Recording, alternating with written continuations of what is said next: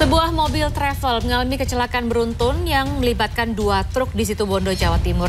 Tiga orang meninggal dunia di lokasi dan 12 orang dilarikan ke rumah sakit. Ya, selain itu mobil pickup bermuatan kain terbakar di kilometer 38 tol Tangerang Merak, Kabupaten, maksud kami Kecamatan Balaraja, Kabupaten Tangerang, Banten.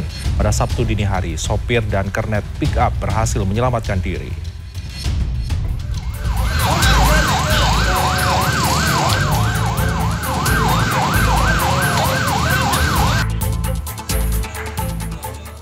Kerasnya tabrakan di jalur Pantura Besuki Situbondo ini membuat minibus travel dari Malang ke Bali ini terguling dan ringsek pada Sabtu pagi. Sejumlah penumpang tergeletak di bahu jalan, beberapa di antaranya terjepit di bagian depan minibus. Sejumlah warga berusaha mengevakuasi korban. Tiga penumpang meninggal dunia di lokasi kejadian, sementara 12 orang lainnya dilarikan ke RSUD Besuki. Kecelakaan beruntun terjadi saat minibus travel dari Surabaya menabrak truk Fuso dan truk Colt Diesel.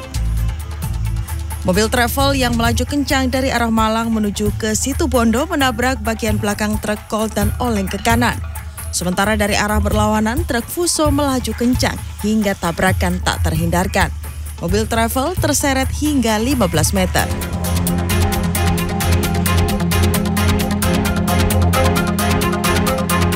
Kecelakaan menewaskan seorang warga di Jalan Basuki Rahmat, Kabupaten Tuban, Jumat siang terekam CCTV. Korban berusia 54 tahun yang mengendarai motor sport keluar dari area parkir sebuah bank. Pada saat bersamaan melaju mobil sedan yang juga menuju Jalan Basuki Rahmat.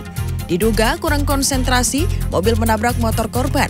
Kerasnya benturan menyebabkan korban beserta motornya terpental beberapa meter. Dikonfirmasi pada Sabtu, polisi dari Polres Tuban menyatakan korban masih hidup setelah kecelakaan terjadi. Warga langsung membawa korban ke rumah sakit. Namun saat di rumah sakit, korban yang menderita luka di bagian kepala akhirnya meninggal dunia.